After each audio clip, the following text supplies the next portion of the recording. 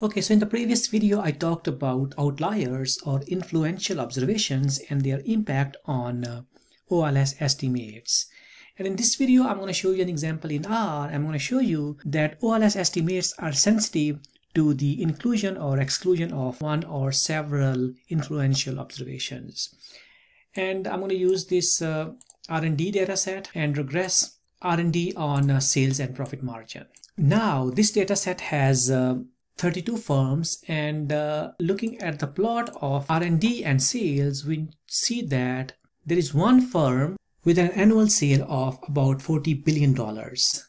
And uh, 31 firms out of these 32 firms they have uh, sales less than 20 billion dollars. If we fit a line like this line this observation or this firm is having a huge impact and it's tilting this line towards it which means the slope coefficients that we will get those will be influenced by this observation. So let's go ahead and omit this uh, observation from our data set and uh, regress a model without this firm. And as we can see, now our slope is a lot steeper because we omitted uh, this observation from the data set. So seems like this observation, it was having a huge impact and it was pulling this uh, regression line toward it. So this was an influential observation of this data set. So let's go ahead and regress two models. The first model is uh, with all the 32 firms, including this one firm, which has sales equals $40 billion. And uh, then omitting this observation from our data set, I'm going to subset my data and uh, regress the same model and look at the results. So looking at uh, the variable sales, so it is uh, statistically insignificant when we include uh, this influential observation or outlier in the data set. But omitting this makes uh, sales statistically significant. So that's the first impact. The next impact is that uh, the magnitude of sales, it's almost uh, double in this case as compared with this uh, case. Actually, uh, the impact is almost three times here if we look at uh, more decimal places.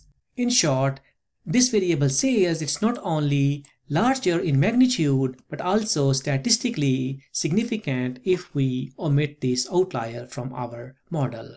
Looking at the profit margin variable, this one, this variable is a little bit larger in magnitude without the outlier in the model, but still statistically insignificant.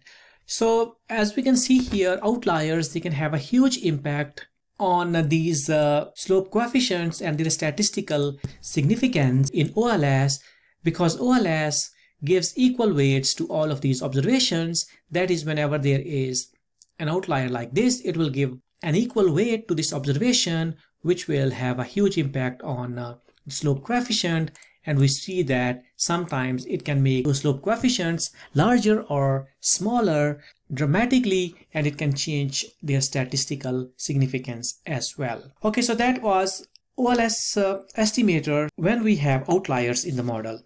In the next video, I'm going to talk about another method which is a little bit uh, more resilient to outliers than OLS and I'll give you an example of that method as well. Alright, I'll see you in the next video. Bye bye.